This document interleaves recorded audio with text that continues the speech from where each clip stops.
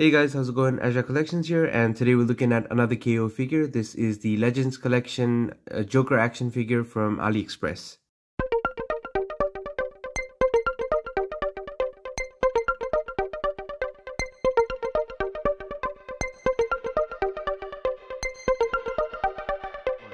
So this Joker is a direct ripoff of the 2017 release of the Joker from Mezco Toys. So that was the official version of this figure.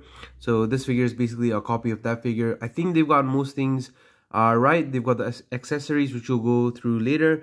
They've got the two heads. The painting on it obviously is uh, lower quality and also the body is lower quality as well. And the fabrics on it, uh, although they look good, they're not exactly the same quality as Mezco. So there's a lot of less that you're getting in this figure, but you're still getting it at a really good price. And I think for around 50 bucks, uh, 50 Australian dollars, you're getting quite a lot in this figure. So uh, I just wanted to break this down for you guys so that if you're buying this, you know exactly what you're getting. And also if you buy a, a, a listing on eBay or something that and you end up getting this figure you know that it's a KO version and not like the authentic version so you're not I guess duped into buying the wrong thing. So let's kick things off with the box and in classic KO fashion the boxes from China they don't come they don't show up like in good condition.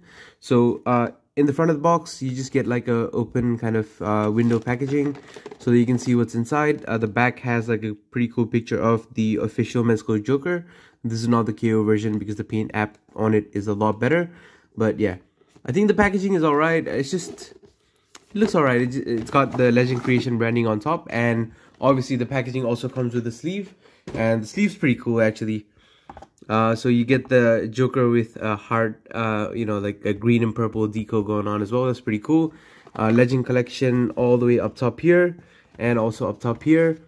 And on the back, we just get the official Mezco imaging, which is pretty cool. But yeah, uh, I mean, all of these photos were used for the Mezco promo and they look pretty cool but yeah it's not the figure that that comes within the box so so taking a look at the figure itself there are a few things that i absolutely love and there are a few things that i do not like at all about this figure so let's take a closer look and autofocus there we go so the face is more yellow than white which kind of is off-putting it's like his makeup is coming off and looks really grimy dirty like he's been thrown around in the sewer or something like that but his hair looks perfectly slicked back, which is weird. And it's kind of got that dirty green on it, which doesn't look nice at all. The eyes look wonky, the eyebrows look very menacing, the teeth very grimacy, very grinning. And yeah, I should mention this is not the head that comes with the uh, in the packaging. I've actually swapped it over. I don't know why, but yeah, uh, we're just starting with this head. So uh, the collar, um, all right, let's just look at the coat first and then we'll go into the nitty gritty. But the coat in itself looks all right. Um, it's been folded over a little bit, but that's just fabric. I mean, fabric does that, but the coat is pretty, pretty decent, I think. And the fabric used for it is also pretty nice. I'll just quickly try to take the coat off on screen. I'll just have to take the fists out.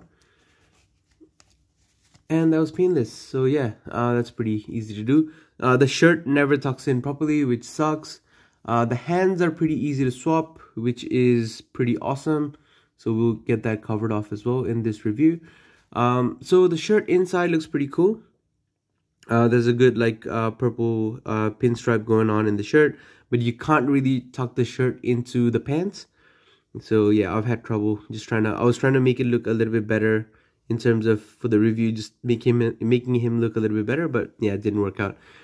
The waistcoat actually looks pretty cool but it's it's folded over here so that's a little weird. The collar is way too huge. The neck is way too sunk in the face is yellow the arms are more white which is what is more accurate uh you know with joker the pants are a little bit baggy and a little bit I don't know. They're they're uh, they've got like a really long hem. Uh, it's not a hem. I don't know what that's called, but they've got a really uh they've got a really high waist is what I should say. But then if you take it high waisted, if you if you place it like you know if you take it higher, it just looks weird because you can the ankle uh, part shows and he's got the bat socks in there, but it's not actually socks. It's just painted on and yeah, the shoes look pretty cool, I guess. So all in all, the fabric is a little bit lacking, uh, but the actual Mezco figure also had pants that were similar. But yeah, all in all, for the price of the figure, you're getting a lot because even if you buy like um, KO clothing or just, just third-party clothing, they do cost up to like 60, 70 bucks, which is more than this figure and and the accessories and the clothing. So, you know, you've got that. So for this next section, we'll leave the coat off, but we'll basically look at the articulation for the Joker. The head is on like a really long kind of peg that Mezco does as well. I'll just try to get the head off so that you can see. Oh wow, that's pretty strong in there. Yeah, so it's just that really long peg that Mezco uses for these necked um, figures. So that's pretty cool. I'll just press him in. Yeah so it stays on pretty well. It's easy enough to swap and it gives you like a good range of motion.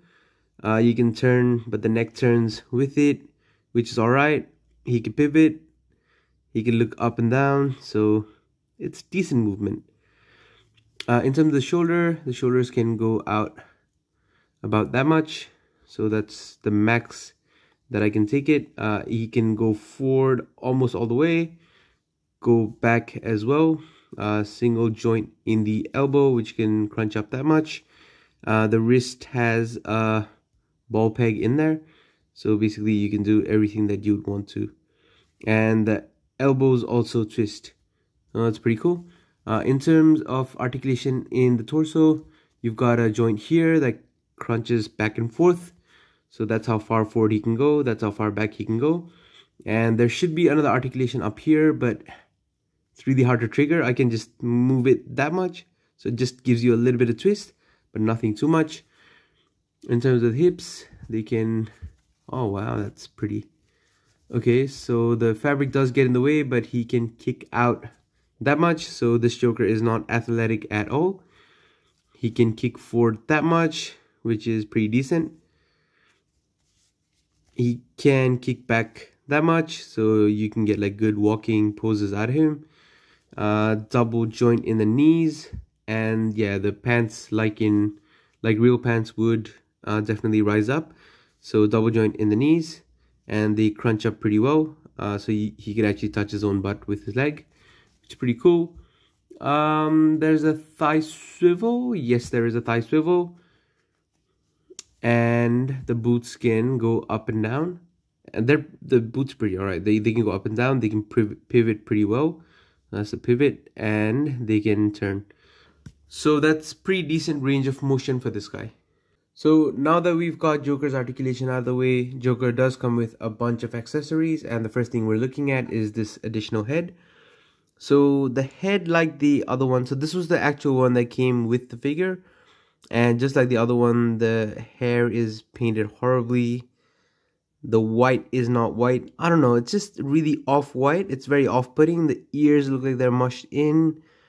And the paint on the ears there there's just a lot of bleeding going on.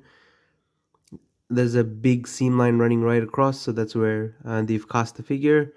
Doesn't look nice. Uh, the teeth and the, the the tongue and the lips they're actually all right to be honest but the eyes look really wonky like one eyeball is bigger than the other not the eyeball, but you know, like the iris. So there's a lot of inconsistencies, but I think if you do better paint on it, it might look nice. So uh, I've been getting into painting a few uh, action figure heads recently. So yeah, maybe I'll paint this up and then make it look a little bit better. But out the box, not the best thing. Definitely needs work. So in terms of additional hands, Joker does not come with much. He gets three additional hands and he's got uh, one hand for the left and two hands for the right. Uh, these are additional. Uh, he does come with two fist hands on the figure itself. So the one on the left is just an open, like splayed out kind of hand. And the sculpting on it is pretty good, but that's just because it's copied off of the official Mezco figure.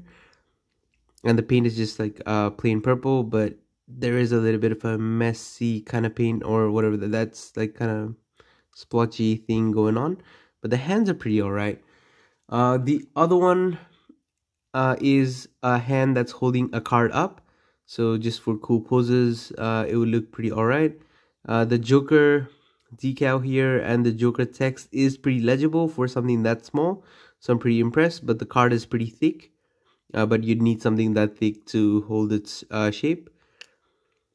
The gloves are done alright. The paint on it is alright, but there's like a lot of excess plastic all over the gloves. So that's something that's not the best. But all in all, I think it's done alright. Uh, and I don't know why, for some reason, the Joker face again, the card face is yellow, yellowish. So I don't know what that is. And last but not least, you get a trigger finger, which is for uh, a, a pistol accessory that we're going to look at later. But it's done pretty well. There's a little bit of excess plastic, but it's it's a KO figure, so it does its job. So in terms of other accessories or weapons, we shall say uh, Joker does come with a long pistol, which looks alright. Uh, the paint is pretty horrible. It's just a very like uh, dirty kind of gray. Doesn't look like a gunmetal kind of gray at all. I might give it a repaint, but at the moment I feel like everything needs a repaint and um, the gun hilt is purple which is pretty cool but it's like really rubbish kind of faded away purple. And just to put the gun in the hand the hand is pretty pliable so the gun fits right in but and that's going for it. So that's pretty cool. So the gun looks pretty cool in the hand and the hand holds it pretty well. We also have a wind up uh, joker tooth kind of thing with little feet that are pretty cool. So I like the feet. The sculpting on this is pretty good. The painting can be better, but it looks like something that's been thrown on the ground that's a little bit rough. So maybe it works for that, but even then it's not, not the best painting. But for what it is, it's it's pretty good. Last but not least, Joker comes with a base, and the base is pretty cool because uh, that uh, whatever the haha is made of is textured on, so it looks like something that's stuck onto uh, the plastic bottom, which is purple, and the haha is green, which is pretty cool. I really like that. Also comes with a stand or an arm uh, that you could uh, suspend Joker off of, and also comes with the baggie. So yeah, that's the final bit of the accessories there. So next up, I've got a quick section for the customizers out there. Uh, this is a MixMax body with like a custom suit from GPS lot on eBay. So uh, the Joker head basically fits right in and also the uh, arms pop right in. So if you wanted to do like a conversion where you're turning this joker who is a little bit shorter into this guy who's a little bit taller you can absolutely do that. All you need is a MixMax body. And MixMax bodies also come in white. Uh, i am not affiliated to them at all but i just dig the bodies and i am getting a lot into customizing so i think it's worth picking up like mix max bodies just to do some jokers as well and just as a bonus bonus, this is what the body looks like uh, without the clothing. So yeah, pretty scrawny kind of uh, lanky looking fella. But yeah, it works well for that custom. So for all the KO enthusiasts out there, here's a quick comparison between two KO Jokers. So on the left, we've got the KO Clown Prince of Crime. So absolutely no mods done to it except for the belt is a little bit lower and I've extended it to be a little bit longer so it uh, stays in place. But no other mods done to that figure here but uh, this figure also is vanilla in terms of that's how it came in the box so i think bang for your buck def this definitely this one is uh, like better in terms of it has more accessories it comes with the cane uh, the Uzi or whatever machine gun that is, the teddy bear, and a few other things. And this one does not have that much, but if you want like a classic looking Joker, that's the one definitely to go with. But the paint obviously on that is a little bit better because it's more white it's more Joker on the right that looks a little bit more pale, the more a little bit more yellow. So yeah, just wanted to give you like a quick overview of what the what the two Jokers look like. And if you just want to buy one KO figure, I'd still say that that's probably the one you want to go with because of the accessories and the stuff that it comes with. And he does look a little bit cleaner, but this one looks more classic so up to you so in terms of height comparison this is what the joker looks like next to a few other mezco uh, authentic products so on the extreme left there, we've got Deathstroke. Uh, right next to him, we've got the Supreme Knight Batman with custom trunks. Uh, right next to Joker, we've got the uh, Mezco Harley Quinn, which is one of the newer releases. Um, I've also got the Mezco Harley Quinn PX exclusive. I forget what the full title is for that one. Punk looking uh, Harley on, on her way as well. And on the extreme right there, we've got the Superman custom that I'm working on. So that's one of the newly uh, painted heads that I've been working on. So custom head, totally painted by me. Um, kind of proud still still need work, but you know that's that's just the initial phases of what is to be a red sun superman. So i think he looks pretty cool so far so next up, we've got a few Jokers for comparison. On the extreme left there, we've got the DC Collectibles or DC Direct 2-pack Joker from the Dark Knight Returns um, action figure series. Right next to him, we've got the Suicide Squad Mattel Multiverse Joker. In the middle, we've got the Joker that we're reviewing. On the right, we've got the DC McFarlane Multiverse Joker from Arkham Asylum. And on the extreme right there, we've got the Heath Ledger Joker from DC Multiverse uh, from Mattel, which is like a signature series uh, figure. So, yep, that's a comparison with all the Jokers that I have. So next up, I've got a very diverse lineup of action figures. On the extreme left there, we've got the DC Universe Classics Big Barda action figure from Mattel. Right next to him, we've got the WWE Elite Series Undertaker from Mattel as well. Right next to him, we've got the SH Figuarts Flash figure from Justice League. In the middle, we've got the figure that we're reviewing. On the right, we've got the Hush Batman from Mafex.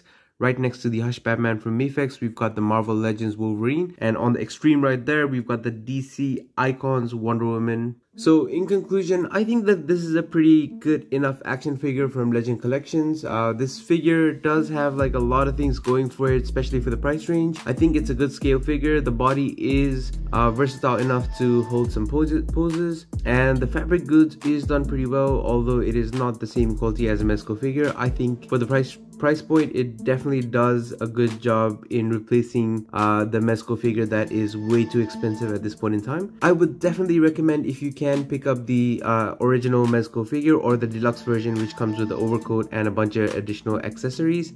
But for for what it's worth this is a pretty good figure and i would definitely i think recommend it to people that are looking for like a cheaper alternative and they don't mind losing a little bit of quality um, because that's exactly what this is. Less quality but still a decent enough product to look okay on your shelf. That's that's the review guys. Uh, i hope you enjoyed it please like comment and subscribe uh, just to help the channel grow a little bit more. And i've been absolutely loving all your support so far. Thank you so much for a lot of views in my last video. And i can see that a few of my videos are getting a lot of views so thank you guys so much for that. I really appreciate the appreciate the support.